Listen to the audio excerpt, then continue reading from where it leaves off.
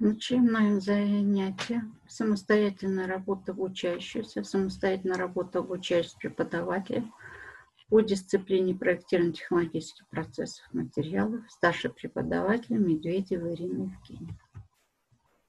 Цель работы – выполнение заданий по СРСП и СРС с полного усвоения дисциплины.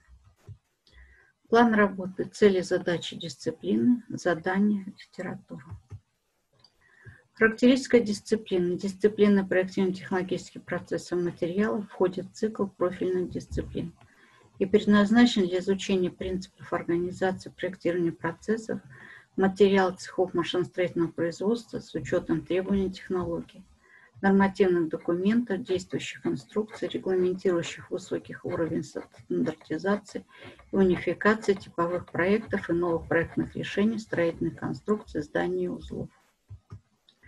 Цель дисциплины. Дисциплина проектирования технологических процессов материала ставит целью изучения главных аспектов производства заготовок, проектирования цехов, отделений машиностроительного производства для производства изделий из металлических материалов, пластмасс, резины, композиционных материалов.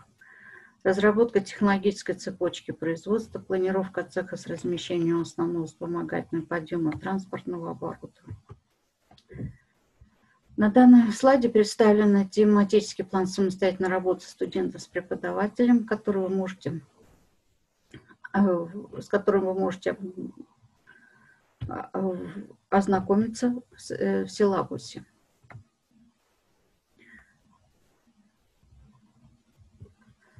Задание на СРС. У каждого студента будет свой вариант для выполнения заданий по СРС вы выбираете вариант по последней цифре зачетной книжки. Если у вас зачетная книжка оканчивается на 0, то вы выбираете по предпоследней цифре.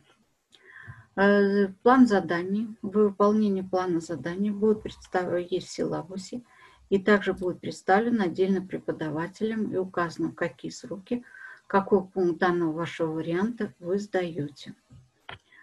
Также вы оформляете в конечном итоге всю работу в единый комплекс и оформляйте с учетом требований, предъявляемых к оформлению документов, таких как реферат или самостоятельная работа. Вариант 1. Организация проектных работ, этапа проектирования. В чем заключается различие между точной приведенной производственной программой литейного цеха?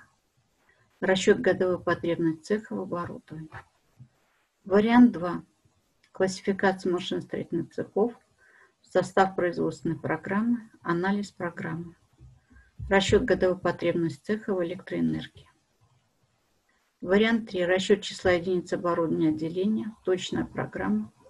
Основное технологическое оборудование отделения цехов массового производства. Расчет годовой потребности цеха в материалах. Расчет числа единиц оборудования отделения определение годовой потребности цеха материалов, расчет числа единиц оборудования отделения производства пластмасс. Вариант 5. Выбор режима работы машиностроительных цехов, типовые планировки конвейера для производства крупных деталей, определение основных параметров конвейерных линий, занимаемых ими площадей.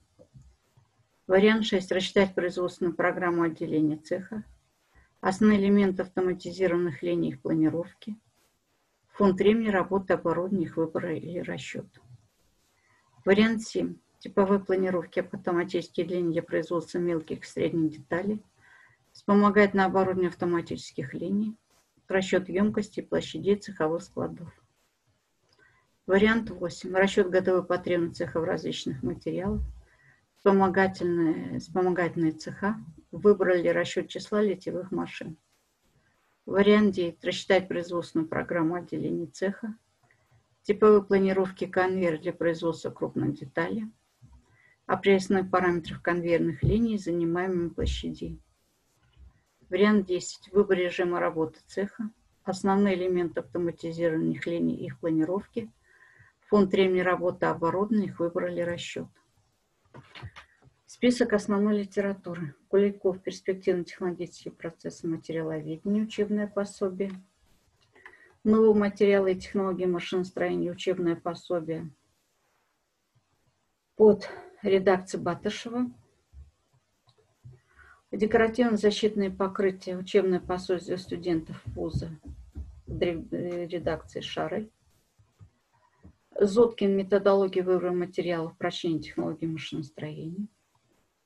Автоматизация технологических процессов и производства. Скиркладзе. Проектирование производства изделий из пластмасс, учебное пособие. Авторы Петрухин. Список дополнительной литературы. Кипнис. Методические указания к лабораторной работе обороны цехов производства порошков композиционных материалов. Клон перспективные металлические материалы. Разработка физико-химической основы получения новых материалов путем модифицирования под руководством Исагулова. Спасибо за внимание. Лекция окончена, занятие окончено.